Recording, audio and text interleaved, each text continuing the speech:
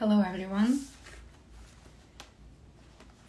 And uh, I am here to meet with my friend, my colleague, uh, Yamidi. We wanted to discuss um, very important topic, and she's really fast. She's already here, waving to me instead of joining. Um, hi, Yamidi.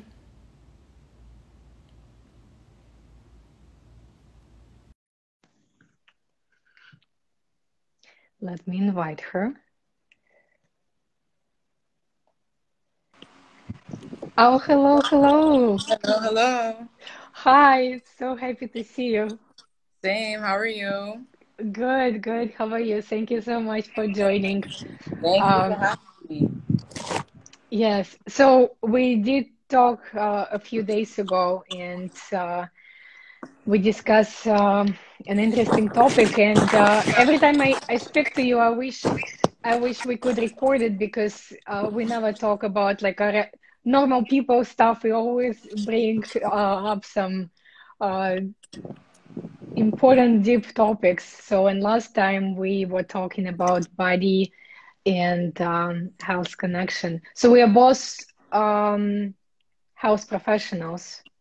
We both Yeah. have a lot of experience. We're both in the dietetics. I don't know about you, Yamidi, but um, I do believe in nutrition a lot. However, after working with people for several years, after seeing many people and uh, a- like a long-term stories, I started to come up to that there's way more about our health than just physical activity or just healthy eating. And sometimes, very, very often, I started to even tell people, no, I'm not going to see you. You have to uh, see um, a different professional. You have to work on your stress management first because, in your case, it's not a nutrition. I actually did the homework and went on your website. I wasn't sure how to start our conversation. And uh, no, but you know what? Immediately I saw a very important thought. Well, well first of all, uh, some some of my friends may not know you. Not only you're my friend, not only you're a registered dietitian, but I know you have a lot of passion for public health and you have a master degree in public health, right? Yes. So, so yes, but basically means because I I um, uh, usually work one on one, or I like to work with people. You do like to work on a big project. You like to work with the community. So, um, so I went on your website and it did say, what did it say? Being healthy should not make you miserable. And I think this is what we're going to be talking about today. So tell me, uh, what's your experience with body and mind connection? We call it psychosomatic effect. Do you have any maybe particular stories, like a real uh, clients maybe you worked with and you realize, well, no, nutrition or uh, medicine or whatever approach they're using is not gonna help um, unless you unless you manage your stress uh, unless you uh, manage your stress and unless you realize that maybe there's some trauma that comes from a childhood that comes from somewhere causing uh, this health issues so what is your experience i'm just curious because i can talk about it forever Yeah. Um, my first experience actually came through um, sports. So um, I have always been very, very physically active. And so, you know, I grew up in a way that we weren't given lots of like bad food, as we call it, like junk food. It was like limited to once a week. Um, but, you know, no matter how much you train or how healthily you eat, it doesn't really do anything in terms of your performance if you don't have the correct mindset. So that was the first time I learned that like there's a connection between your mind and your body because if you no matter how hard you train, if you go into the sport, whatever sport it is, with the mindset that I'm going to fail, this person is faster than I am or this person is better than I am, then you might as well just have eaten a hamburger or had like a coke right before the game because your performance will be affected just as badly, if not even more, than if just by your ma- mindset.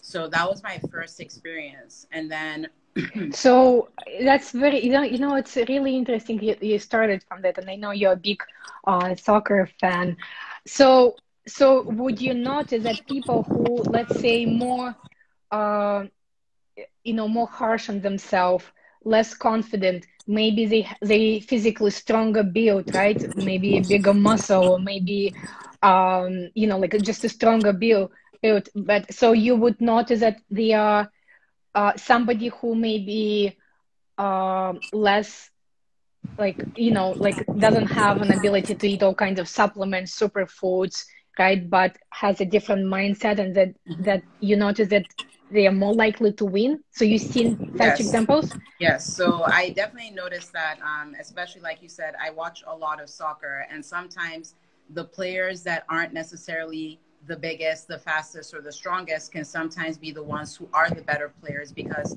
especially, it's very obvious with certain positions, but like for someone, if it's very obvious for like a soccer player, even basketball, to know that if they're going through a form of bad patch, um, at that point, it's like, okay, maybe they didn't play well in one game, but if it really starts to affect them mentally, then you can see like right before they try to shoot a goal or try to pass the ball, there's this like slight hesitation.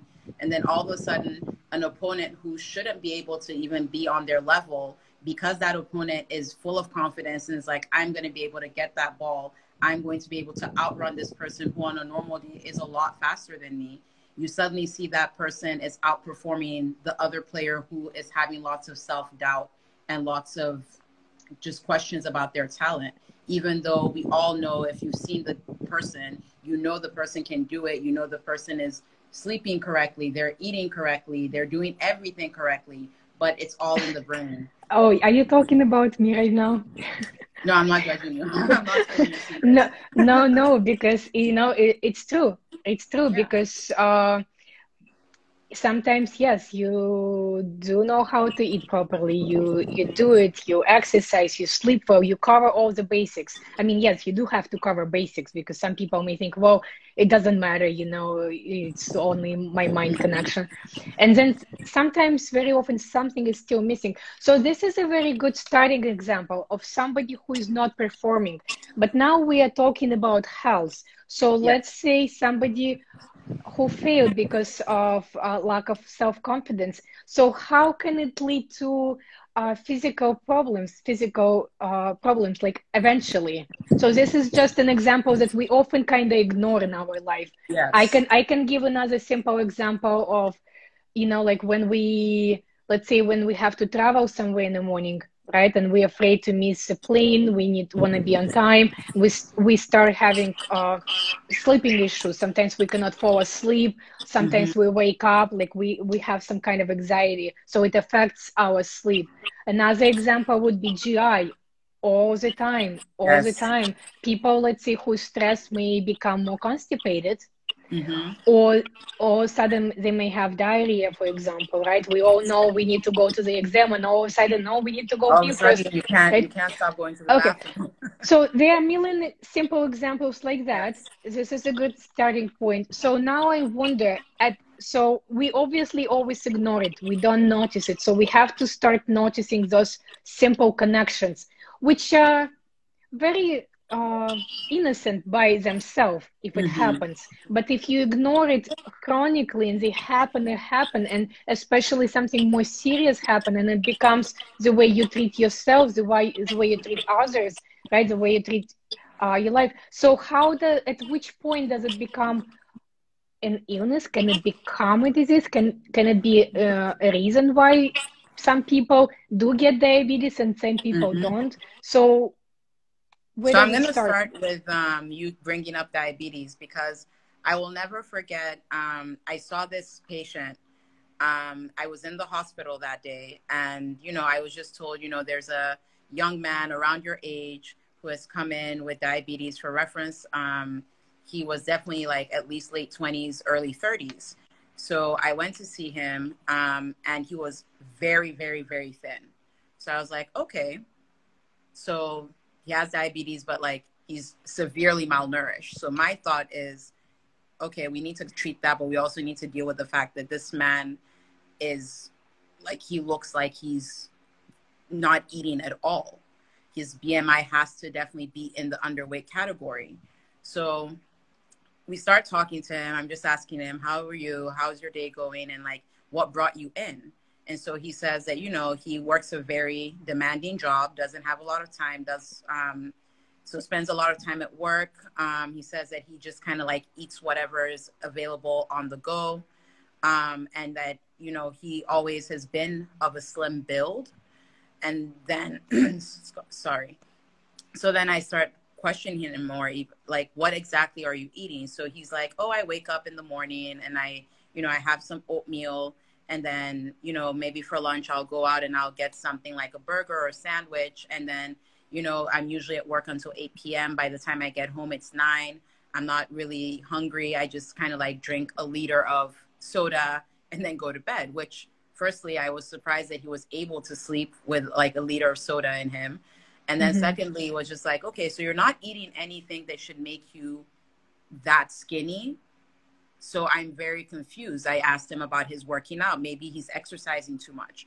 And he was like, no, I'm fine. The only reason I came in here was because, you know, I've been feeling a bit sad and a, a little depressed, but, you know, it wasn't until my eyesight started getting very woozy that I came in because I remember my grandma always telling me that, you know, your eyesight getting woozy is a sign of diabetes. So then I was just like, okay, so my colleague was like, yeah, we think he has type 2 diabetes, but I wasn't convinced. Um, I was pretty sure it was type 1 diabetes instead of type 2 just because his lifestyle didn't necessarily match up because he did mention, I asked him about physical activity and he said, you know, he tries to um, walk around during his lunch break and he had an Apple Watch, so he was averaging like 12,000 steps daily. Um, and he wasn't mm-hmm. trying to lose weight or anything. So finally, I asked him, you know, did some, you said you were sad. Did something happen before all of these symptoms started showing up? And then he mentioned that, you know, he had lost a parent um, and he had been depressed for a very long time, um, which then I was like, so that's what triggered your diabetes. It would have been severe depression because he said he was really sad, but he didn't realize it was depression. He just was like sad. He didn't want to go out anywhere. He didn't really want to cook anything because it just cooking was an activity he did with that parent and yeah just that yeah. kind of thing so it was the depression as you know type 1 diabetes um, i'm sure you've heard that people generally do say that it's preceded by some kind of illness before you actually get diagnosed with the type 1 diabetes. But I don't think people take mental health into account as an illness. They usually think, oh, you had the flu or maybe you got a cold. And it's no, this time it was a mental effect that a mental health issue that ended up manifesting very much in a physical way. And he ended up getting diagnosed with type 1 diabetes. Yes, yes. So diabetes with type 1. So it's autoimmune disease right? Yes. And there are many other autoimmune diseases. and I uh, very much like how, you know, and type 1 diabetes becomes, you know, type 2 becomes older and older. And type, yes. I mean, sorry, type 2 becomes younger and younger. and type, younger. 1, and type, type, type one becomes older and older, yes. right? So basically, and I really like when people with type 1 are diagnosed at like age 60, for example. When it's age mm-hmm. 4, 5, okay, right? Kind of like makes sense. We will leave them there. But when I remember uh, seeing a patient, she was diagnosed with type 1. She's 60 years old, mm. right? And the answer she got from her doctor is we don't know right like we don't know so and basically this is it like like some of this autoimmune diseases and i'm dealing with it a lot recently is they don't know where it's coming from and they they don't point at anything what i also yeah. don't what i also noted that um so why you know and this is the reason why i decided to meet with you and talk about it so people can start paying attention while it's always this little symptoms like i'm upset about something mm-hmm. or i'm reacting something to you know something this way because we we kind of learn to live with that we we we already used to seeing people looking happy looking satisfied but they may be extremely depressed and yes. then all of a sudden somebody ends up with a suicide for example, mm-hmm. this is a worst scenario, or autoimmune disease, or some kind of illness, right? And this is already kind of too late to pay attention to it. So I also wanted to add, if we're talking about this, um, um, when I did my internship in um, surgical weight loss center with bariatric patients, yeah. and I noticed that. So, I mean, obviously, one of the criteria for being uh, eligible for the surgical weight loss is, you know, is obesity, right? Is uh, mm-hmm. uh, extra weight. Yes. So we usually think, I don't know if we're talking about diabetes, we usually think of um, of excessive weight linked mm-hmm. to diabetes, right? Yes. Or like if you're eating unhealthy, if you have extra weight, if you're not physically active, you're more likely to get diabetes. Yes. I was extremely surprised that many, many, many, many of my bariatric mm-hmm. patients did not have diabetes. yeah, they don't. Imagine. Yeah, right? they don't. And another good example is um, my grandma, who had type 2 diabetes. I mean, she still has type 2 diabetes. And she was always wondering, I remember her asking, I remember talking about it. And she was always wondering, how come I have diabetes? How come I have diabetes? And everybody used to tell her all her life or you just need to eat better, or you just need to watch what you're eating, or you just need to avoid carbs, or you just need to work out and exercise. And um, this was put to her head, and she all her life she saw that she's not doing good enough, that she's doing something wrong, and it's all her fault. And the only factor, I mean, yes, food diet is extremely it's a big part of diabetes of course yeah. we're not gonna we're not arguing about that but um, I remember we talking to her and she was wondering, she's like, I'm not eating that bad. Like, I'm looking at some of my girlfriends who are older than me, who eat worse, but mm-hmm. they don't mm-hmm. have diabetes. And, but the sad part to me was that nobody ever pointed at anything else. Because if we're talking about diabetes, we only, only talking about food and yes. diet by itself cannot help so uh, long story short so my grandma who was an, on insulin um, for a really long time and you know this story because i shared it with you uh, mm-hmm. who was on insulin for a really long time on, and who saw that diabetes and what's happening to her body is her only fault and the reason for that is she's not eating right and she didn't know how to yeah. eat right.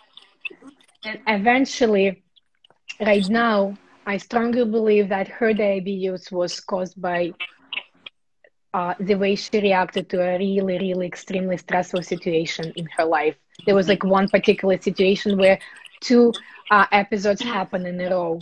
So that uh, diet would still not be enough for her.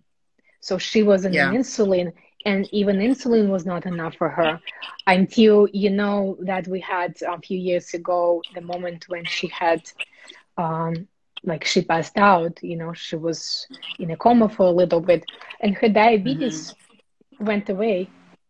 She's not on insulin anymore. So she had another stressful situation. I mean i know it's a little bit confusing what i'm talking about but um, she was a perfect example for me. And i and i you know i have a lot of em- empathy for that that uh, somebody taught her made her believe that this is only food or yeah. or or somebody being told it's unknown factor why you have autoimmune disease for example and that's why i want to point that the the body and mind connection the psychosomatic effect has a huge yes. huge effect on our body do you have any other examples how you kind of seen story in the long term and yeah. it was like it was like maybe immediately obvious to you that there's something more behind it yeah, so specifically, my specialty in um, public health is maternal and child health. Um, and I really like a lot of like fertility nutrition and anything like reproductive nutrition, which is a very small, very understudied field. But you know, mm-hmm. when you're dealing with hormones, everything goes out of whack, essentially. Yes. All the rules get thrown out the door. So it's very easy to tell someone that has hypertension or diabetes that it's only their diet, which is why it's always so important to take a holistic approach to everything. You need to know are there stressors in the person's life? And you know, as you said, we live a very like I think the the way the world is, we're all used to getting stressed. If we're not stressed, we're stressed about the fact that we're not stressed because we're like, what's going on? Why am I not stressed and everyone else is stressed? What's wrong with me? I know, So right? We create stress You, you even feel guilty when you're happy. you feel guilty. You're like, I'm having fun right now. I should be doing something with my time. I know. so we're so used to it. But like stress is actually not good. And having those two stress hormones, adrenaline and cortisol, are actually on all the time is not good. Yes, it's normal to like before presentation at work or in class or before meeting someone, I should hope that your stress levels go up a little bit, but then it shouldn't be like that the entire time because you cause problems for yourself. And you see that a lot in reproductive nutrition because for example, when your stress hormones are too high, like cortisol specifically, the signal it sends back to the brain is that we're in a fight or flight situation, shut down anything that is unnecessary to survival. Unnecessary to survival means Yes, your, yes. your digestive system will Yes. get shut down. Yep. So you might have constipation, you might just suddenly not, not have an appetite.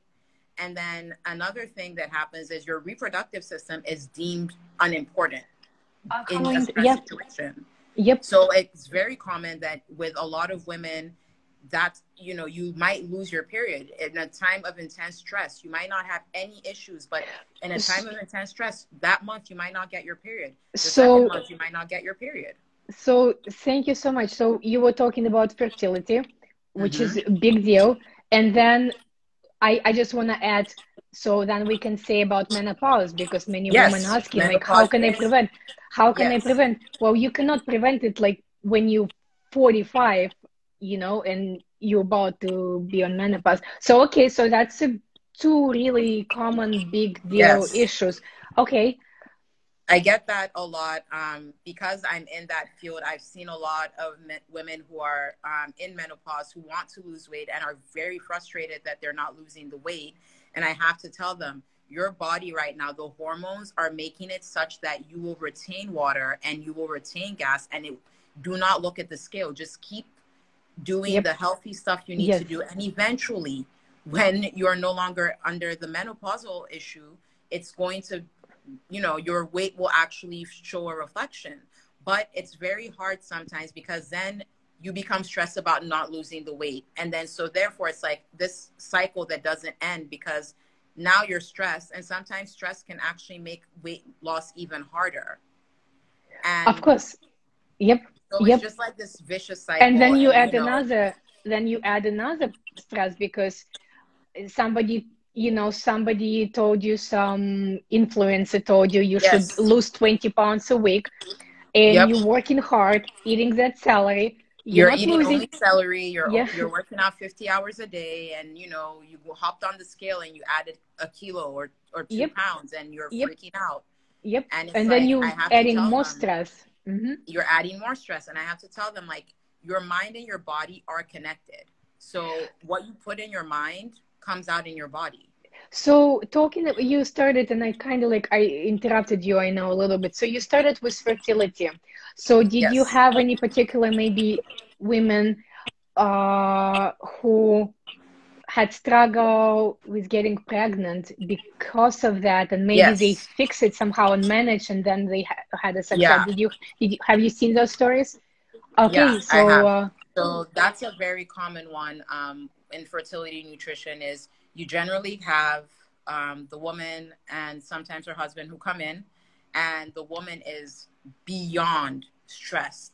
She thinks that there's something wrong with her system. Like, what is she doing wrongly? She stopped smoking, if which is common. She stopped smoking. She stopped drinking. She's eating all of these, you know, healthy exotic foods um, to increase her fertility and she's you Yep. know she's sleeping well she's even wearing like making sure her temperature is right she's checking she's Mhm, ovulating and mhm. sometimes i'm just like okay wow that's a lot i'm stressed listening to you I know, right? hmm like i am stressed listening to you so Mhm. and i'm like you know sometimes you have to ask like okay, you're trying to get pregnant. Are you even enjoying the process of getting pregnant?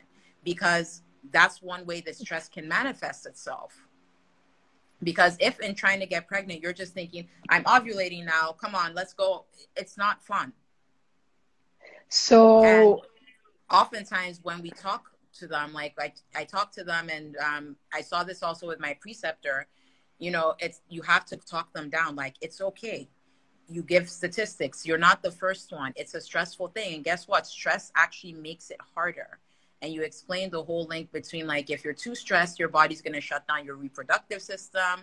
Go on a holiday, forget about it. Maybe start drinking wine or eating something that you like. And usually, like the minute they're like, okay, maybe I, I can't have a baby, or maybe I'll just wait, maybe it's not now you know maybe it's you know the universe is telling me a different sign usually it's like oh my gosh i'm pregnant it's like well, you stop stressing about it i know right you stop stressing about it yeah that's uh, that's a really excellent example and i kind of want to continue that topic with uh, uh, you know hormone disbalance and menopause and uh, yeah. um, thyroid issue which are very big deal common you know in, on top of weight and they on top of mm-hmm. hypertension. It's a very common issue that women ask all the time and kind of want to prevent it kind of want to deal with that and pcos is another one as well that causes so you have a lot of knowledge about pcos what can you say? What psychosomatic what thoughts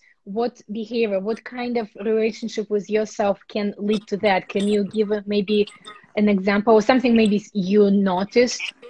Yeah like so, hypothetically maybe at least? Yeah um disclaimer i have pcos but what i have noticed is um i there's the stereotype of pcos causes a lot of anxiety already in women who have it so there's mm-hmm. this anxiety of i'm not going to be able to have children which is generally like the first one which it's not true you you can have children with pcos then yeah. the next one becomes, you know, you're when you go to the doctor and you finally get diagnosed with PCOS, the first thing they will usually do is like, you can have children. But then if you're big, then they will tell you, you know, you need to be careful because you're going to get diabetes, you're going to get hypertension, and you need to lose weight. Yes, yes. Unfortunately, with PCOS, you mentioned hormone imbalance. Your hormones are out of balance. So then what happens is a lot of the times, PCOS, a lot of PCOS people start developing a lot of anxiety surrounding food. So now eating becomes something that's like very much a problem. And it usually ends up in orthorexia, where like they only want to eat clean and then they work out crazy hours. Um, then you also have those who end up developing binging, um, anorexia becomes yes. very common, bulimia, especially because every time you go to the doctor to complain, um, you know, about the whole fat stereotyping and fat weight stigma in medicine. Every time they go, a lot of their stuff is always dismissed as lose weight, lose weight. You're going to get hypertension. And it's like, that's not helping because a yes. lot of the, a, a lot of the women I've spoken to with PCOS, their main preoccupation isn't even so much diabetes or hypertension it's mm-hmm. always losing weight and why they're not losing weight the way they would mm-hmm. like to. Yes. And I saw that a lot in the US where it's like mm-hmm. we would see patients where like their main thing was I want to lose X amount of weight and they would, you know, mention a crazy diet that told them they would lose X amount like 20 pounds in one month and they're yeah stressed. Yeah. Yes. Yes. Yes. Thank you so much. You know, that brings another extremely important point is I actually seen a woman crying um, who had a she she had a gestational diabetes mm-hmm. and she was crying because to her it means she's a bad mom that she's hurting her baby and she's extremely stressed and the reason she was crying is uh, a dietitian told her uh, we're not gonna manage it just by diet. You need to start, um, you know, some kind of treatment like insulin, or you know, mm-hmm. because it was not her first pregnancy and she was pre-diabetic before, and etc. Uh, etc. Et and um, the good point about it is very often when we go to see a professional, Yeah.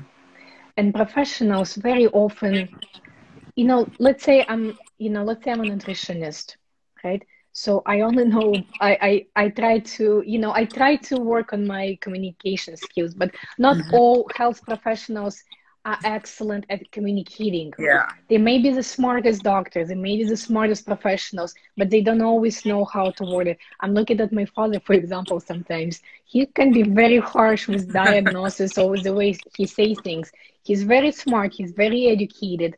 Um, and a dangerous part about it, and I, I always bring it to people, people who are about to be diagnosed, who, who would just diagnosed because I've seen real cases where the person will get diagnosed with a disease mm-hmm. and especially somebody who is not medical professional and they don't know about, much about it it sounds scary yes and the thought about it may destroy them faster than the disease itself exactly. it happens a lot with cancer patients mm-hmm.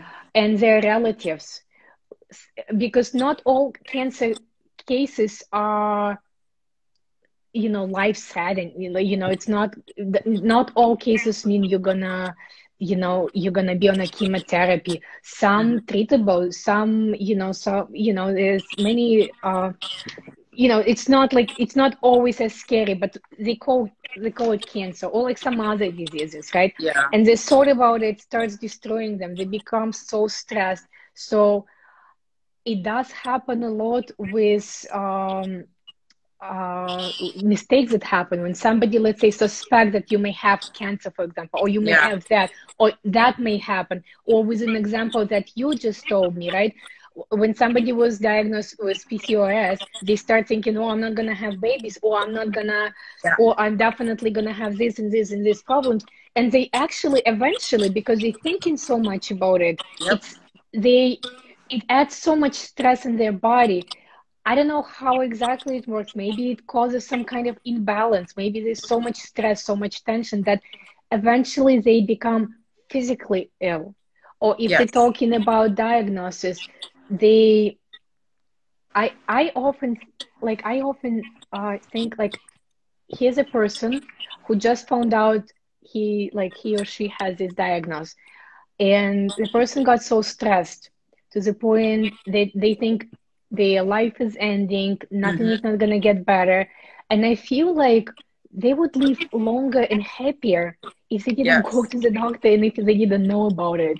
Yes. But now now they know they start destroying themselves. And if people around them not don't understand them like like some people start freaking out or like relatives start feeling bad for you you so the rest of your days you basically live in stress like you're about to die yeah. any day and this just definitely destroys your body yes. a lot and i think it's very important um you know we're both dietitians so you know we have to learn how to talk to people and food is very much psychological and part of that is you know when you see someone who wants to lose weight or something you generally have to bring ask them about their family environment because for some people they come in they want to lose the weight. They want to do this. They're super motivated. So it's not like some of these other people that you know they were forced to come see the dietitian and they were told they have to lose weight. These people are interested but then if you have someone at home who's always talking negatively to you oh there's no point in losing weight. And then you know when you're trying to maybe eat a healthy meal they're like oh i'm not buying your healthy meal. I'm, I'm just going to give you this unhealthy meal um, it just derails you because it's you know the, that saying mind over matter is not it really means a lot. Your mind plays a huge role in it. We see it all the time in scientific studies where the placebo effect just a mere thought that you might be getting a treatment for something some people do get better from whatever was ailing them. And it's that's the placebo effect. And there's some people that you know it's been proven that excess stress does depress your immune system. So when you're super stressed, your immune system just kind of goes down and you're now open for all sorts of opportunistic infections. That's why maybe when you're stressed, you might get a cold, even though, you know, you haven't been around someone who maybe to your knowledge has a cold. And that's something that's very important. Like in PCOS, in trying to, in reproductive nutrition, like just trying to get pregnant, what that kind of negative self talk, like your first thought when you got PCOS is, I'm going to get diabetes and die or something, especially if diabetes runs in your family, or I'm never going to have children. And that just eats away at the mindset of some people where it's just like they go into this depression and it's just now it's just a self-fulfilling prophecy where they don't try anything they're just depressed and then eventually it degrades into maybe you end up developing diabetes or hypertension and you're like well i knew it was going to happen anyway and it's like i wonder if you hadn't gone and gotten this diagnosis would would it have ended up this way um I'm totally agree with you. There are a million of other examples, and I see it all the time that they could, you know, um, give you right now. And I, I feel like maybe we can now, as I'm talking to you, I'm feeling like, well, knowing that we can actually look at it from a different perspective. Okay, mm-hmm. we know it may affect. We know that uh, our stress, some childhood traumas, or some mm-hmm. uh, even something um, that happened in the past and you kind of let it be let it stay with you and and maybe you overreacted to something so it may affect it may it may not necessarily the cause may not necessarily be what's happening right now it may yeah. be what happened to you in a year ago five years ago etc etc so i feel like the good news is knowing this information mm-hmm. we can twist it and look at it from a different side Yes. If we know that stress can lead to physical illnesses, that we can basically try to focus a lot on our uh, relationship with ourselves, self love, uh, relationship, how other people treat us. Yes. Uh, maybe remembering what is hurting us, what's maybe some kind of trauma that still mm-hmm. are with us, work on them, and that may actually can help you to be healthy. So kind of like going from another perspective, not to wait until something happens to you when you start having a physical problems to dig into okay what caused it. But maybe to use this knowledge to treat yourself try to mm-hmm. relax as much as you can. Don't forget about your vacation to prevent it to stay healthy to help your body. Um, I often tell my people, like who I work with, I, very often, like you know, like you you meet somebody, and they're like, okay, we're working with you, and now I I want to lose weight, I want to do that, and I want to do that. I always tell people who I work with in advance right now. I always tell, hey, I know you want to lose 20 pounds, for example, but we're not only going to be losing 20 pounds. I'm going to check that, that, and that before we get there. Because, yeah. I mean, like, you know, we check GI and some other things, but one of the factors I looked at is stress. So when I'm mm. working with somebody, somebody is extremely stressed, I'm not going to push them to work harder because there's no way. So um, I feel like it's fair. Um, to use this knowledge as a prevention plan.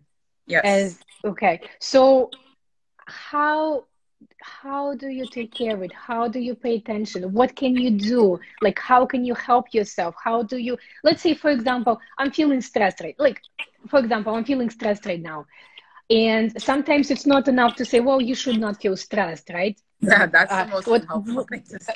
right? Or like calm down, right? Don't feel when, stressed, and it goes. Away. I know, I know, right? When when um when a mo- man and woman are fighting, the worst thing a guy can say is like, "Calm down," right?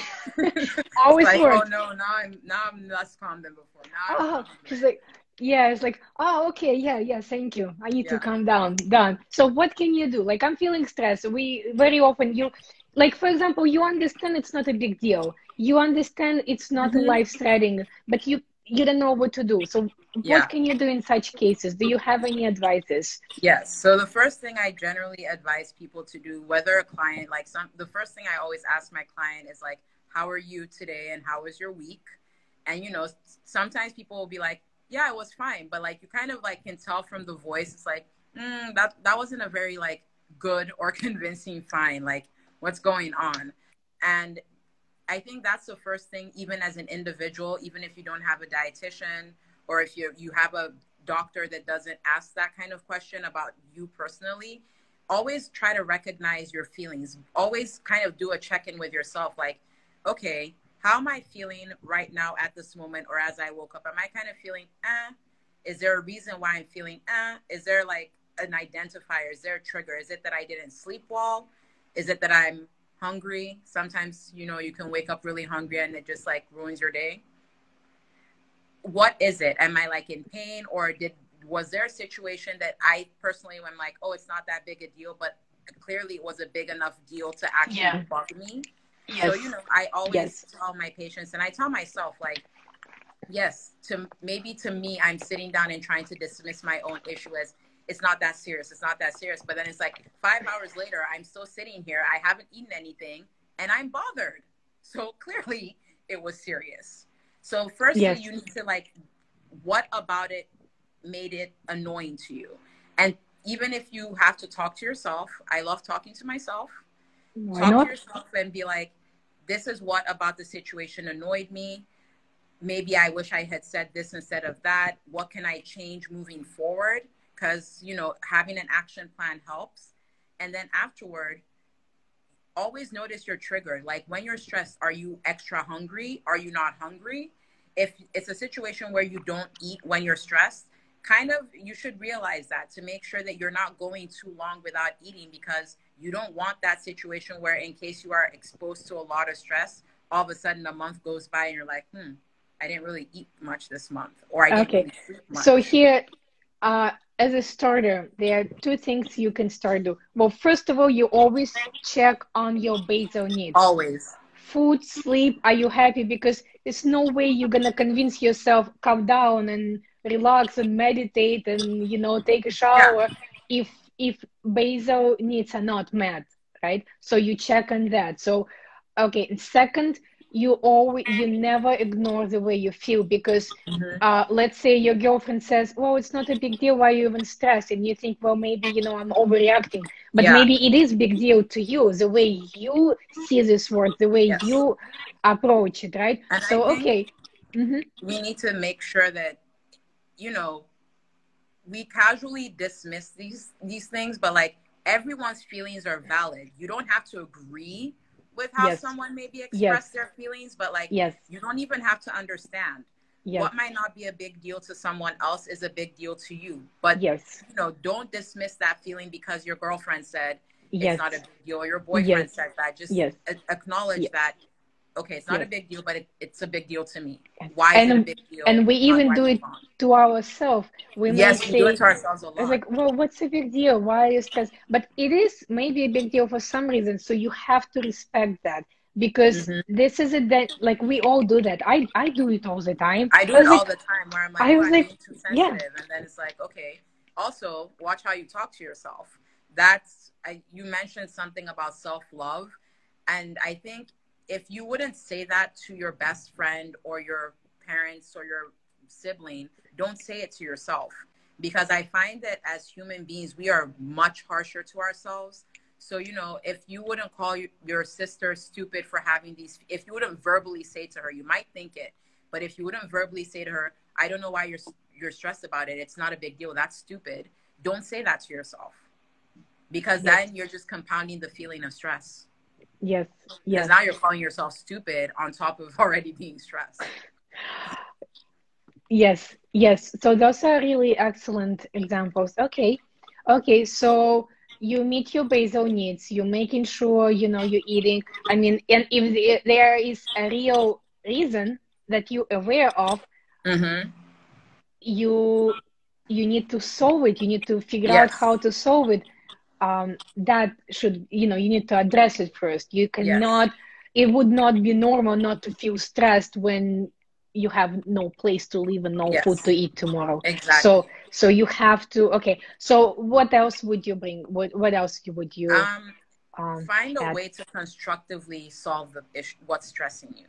So okay. for some people it's not possible to maybe confront the situation if you're not a, if you don't want an argument sometimes just find a journal, maybe write it out. Um, for some people, you might may- maybe want to try meditation, relaxation techniques. There's a lot. There are a lot of apps now out there that help, like with breathing techniques. Like if you're getting very anxious and you're just kind of working yourself up, just breathe in, breathe out.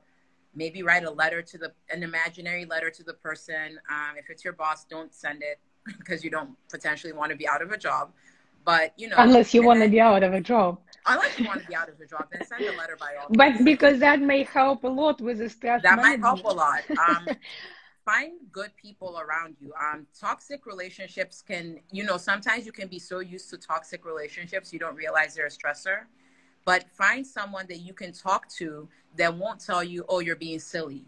Oh, you know, it's ridiculous. Find yes. someone who will listen to you and say, yeah, I can see from your understanding why that's annoying. Yeah, I can see that. And find someone to bounce ideas off of, like, okay, so yeah, I can see why that's annoying. You know what? Let's go do this instead. Find so if find someone to talk to that can also unburden you. Um, find a hobby you like. So when if you can't think it out, do something you like.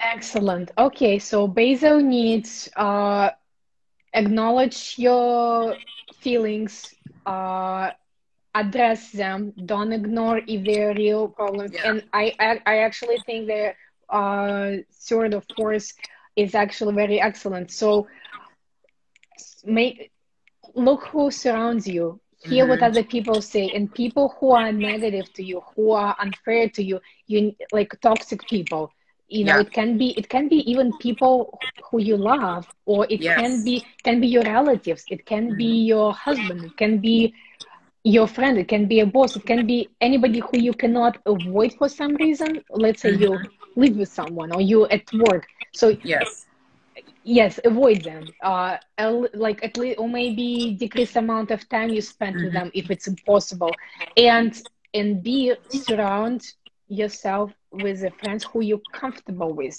yes because if you constantly hurt if you're very stressed it's very very very easy to stop believing in people and mm-hmm. end up being alone mostly yes and that I think that may be a little bit being alone for a little bit. It's good, it's healthy, it's normal. But being always alone, at yeah. may you may not you may get used to it, and you it's harder to get out. So be around the people, but choose who you are with. basically. Yeah. Mm-hmm. So okay, very good, very good. Do you have anything else to add to? um like, like on to that part of prevention like how can we do how we yeah, can we um, address it I do think that sometimes we we like to indulge in things that might not necessarily be good for us. So, you know, if in saying that do something that you like, if you're not feeling good, don't drink alcohol because generally what will happen is you're like, "Oh, I'll just have a glass of wine."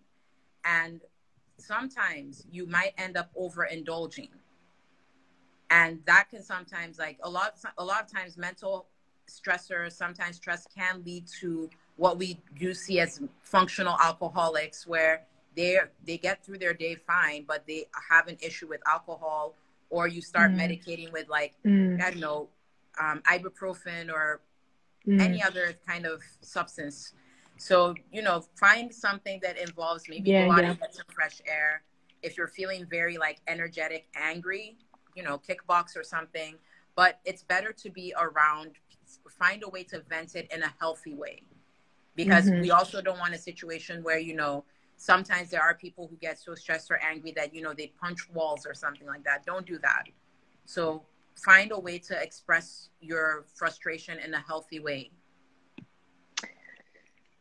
Um, yes, I, I would say I'm definitely agree with not switching to something that is harmful to another thing that is harmful.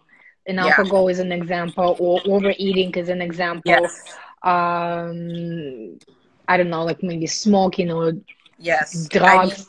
I mean, or... We see it all the time with bariatric patients, where a lot of the time something was stressing them.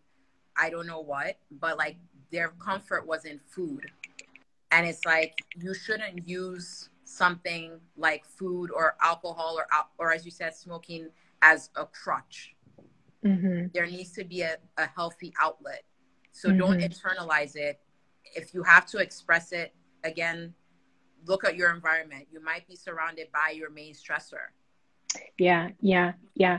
And yeah, and it's very, very dangerous to start a bad habit when Yes. you are stressed because because because you need a solution. It's it's hmm understandable. Uh, No, it's judging. It's very understandable. But um, this is one of the rules I kind of somehow taught myself. Uh, I I always told myself um, not to enjoy uh, an alcoholic drink or cocktail or glass of wine when I'm stressed. Uh, I can have it for pleasure, but Yes. you know, because now it's very popularized. Like if your girlfriend having a bad day, grab a bottle of wine and Your kids are annoying you, You have some wine. yeah, yeah, yeah. yeah. So I'm trying not to do that because it's very easy to follow because it will Yes. work actually, right? It will Yeah, work. You, will. you and it's it's uh it gets it may you may become addicted to it and then you didn't solve the initial trigger hmm and now you have another one. So you may end up uh you it's it's gonna be you may it's gonna be really hard to figure out when you're gonna when the problem's gonna build up. Excellent, Exactly. excellent. We do have a few minutes only um, to discuss. Is there anything maybe you wanted to add? Maybe a book you would recommend to read, or Yes. maybe um, like many maybe other sources of information. Like what uh, what can we do about like wh- where else can we read about psychosomatic? I know it's becoming more and more popular, and I'm I'm really happy about it. And I'm reading about it a lot. I have few books I um I I would uh, I will mention. Do you have anything maybe you Yes. you know So I have this, this book that um, men should also read it, even if the title doesn't apply to you. Um, it's called The Menopause Diet. And why I recommend I it. I I I you know I doubt any man will buy it. well, the reason why I say it is because I read it and I'm not menopausal yet, but it's because be, it stress is, as we already discussed, such a big factor in menopause that there's a good amount. It's by a fertility dietitian, and there is like at least like two chapters that are solely dedicated to just talking about working through stress. So it's uh, what's the name of the book? Because I may add it to The. Menopause Diet by Hilary Wright. So Okay, Wright with W R I G H T. okay. Uh, so okay, okay. So it's not about menopause. It's about No, uh, it's um, it it it's a bit of a misnomer to me, um, because basically she kept getting questions from a lot of menopausal women, like, you know, my emotions are out of control right now. Like I just get mad at everything, and I just want to know how to control it. Um, is there something I can eat to improve my mood? Is there something I can eat to lose weight? And a so lot of it talks about hormones and stress and how to manage so that. uh, by the name of the book, so it will give some practical recommendations of what foods to eat and not to eat. Do you agree with those recommendations? Because I, I haven't uh, read this book. Yes, I agree with the recommendations. I Okay. there are lots of very like eat a lot of fresh foods that will help, you know, with just improving your mood as well. So Okay, okay, exercise and stuff like that okay. So it has some practical. Uh, Meditation, yoga. Yeah. got you, got you. Okay. Uh, any any other book, any other literature, Yes, there is one that um sorry, I have to look it up because Oh, I forgot the title. But it has a very colorful cover. That's what I hmm was saying. Um you can go ahead and recommend some of your books. Well, I have um. Well, I have one book that I mentioned you earlier. Um, well, the other books that I know about, they are in Russian, so I'm not gonna recommend them, but uh, they are excellent, actually. The one I have is very depressing. Oh, My okay. my marketing skills are, you know, very good. It's very depressing book, and I, I I didn't manage to read through that, as I told you. It's, but I think this is the only popular book on the market that at least addresses this problem what we've been talking about it's uh, the body keeps the score it is talking Oh, about yeah, yeah, yeah. brain mind and body in the healing of trauma it's how and um, as you know i did uh, my internship in veterans home and i did see hmm Yeah. many obviously veterans who have um, uh, who who PTSD. now they, Yeah. they basically deal with a stressful situation and Yeah. now they all dealing with physical problems as well and how Yeah. it especially for them how it has to be addressed like must be Mhm. addressed because that's very obvious and i think there um I think actually the research, the, some of the research that mentioned in this book were done here in Massachusetts, Yeah. uh, and they did work with veterans, so they do have some valuable information. Only for that reason, I would probably uh, read a few chapters. it's, another um, book, another book. Sorry, I have. It's not. It's not a book. I found it on Audible. It's very simple, maybe two hour listening, but very very simple solution, and I actually use it myself. It's called the three day effect. Uh, it basically tells uh, how nature can help you to uh, calm your brain. Oh, okay. So, and I do very often feel how it works on me. But let's say you're in a stressful situation, Mm-hmm. being at the beach, being in the mountains, moving, walking, Yeah. being in the nature, because the colors, the nature, it calms Very you down. stimulating. Um, there are many other books. Did, did you find the one you wanted yeah. So it's the mind body stress reset. Mm-hmm. Okay. Um, by Rebekkah LaDyne. LaDyne. I don't really know how to say it. um, Okay. but basically she's recommending um, basically the full title is the mind body stress reset somatic practices to reduce stress so Yes. basically she goes through um, she taught like it's not as educational or let me not say educational it's not as um jargony as it sounds. So anyone can pick this book up and read it and understand it. It's not just for like professionals but she basically breaks it down how stress has an effect not only on you know your mental health but your physical health. And then she goes through the different ways that you know the different techniques that can help you. And it's not just one size fits all. She talks about yoga the different relaxation techniques meditation um, she talks about like i think um, basically she talks about these different heal- alternative healing practices like Yeah. acupuncture crystals and stuff like that and it's very useful because you know there's something in there for everyone as long as you approach it with the mindset of you know i cannot deal with all of this in my mind anymore and you know Yes, yes. Okay, okay. So uh, we have to um, we have to end. I think uh, we did bring so many um, uh, great points. I would just fin like I just wanted to add and um, um, it's extremely important to find triggers it's extremely important to find what's causing in because many people with diet with stress management we try to work on a symptom we try to do medication when we're stressed without knowing what's causing it. Yes. We try to lose weight without understanding what else what exactly why Mhm. can't i lose weight? And the same the western medicine approach does you know this is how it works. We do treat symptoms without understanding. Yeah. So even with a body and mind connection. It's not enough to go for a walk. It's not enough to just exercise. It's not enough to take a bubble bath or whatever you're doing. You have to do that and at the same time figure out keep working on understanding yourself and what triggers it and stop ignoring it. Um, thank you yamidi i think i hope um, i hope this video will be helpful to some and um, to to understand themselves and to be a little bit less harsh on themselves and understand there's way more behind diagnosis behind symptoms behind um, you know as people say you're just lazy you're not working hard enough yeah it's not that simple and stress in your thoughts and your relationship with yourself is a huge part of it um, it has Thank to be addressed. Thank you for having sorry thank you for having me um, it's a very important talk because you know every day everywhere around us we're told to basically be stressed so as you said we're told to work harder Every day we're day told to we've work been told harder to work and like harder if you're not stressed enough it's probably because you're not working hard enough you're lazy Um, and as I said, we stress ourselves wondering why we're not stressed or why we're, we supposedly don't care.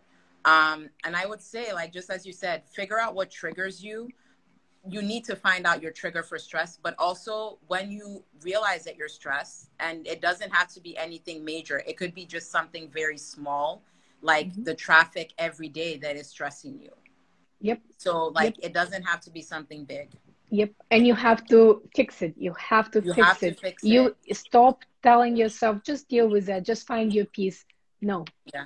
You have you, ha- you hate your job, you leave it. You, yeah. you get not a happy. motorbike and then ride that into town, and that way you don't have to stay in traffic. Um, but Yep. fix, find the stressor, fix it, and also note your reaction to the stressor. Was your reaction to I don't know become more controlling in other areas of your life, controlling what you eat? Because that sometimes can be an effect where an eating disorder can happen because suddenly that's all you can control. We can always control food. So find what is your stressor? Is it to start yelling at your kids, yelling at your significant others? So find the trigger and find how you respond to it. Yeah.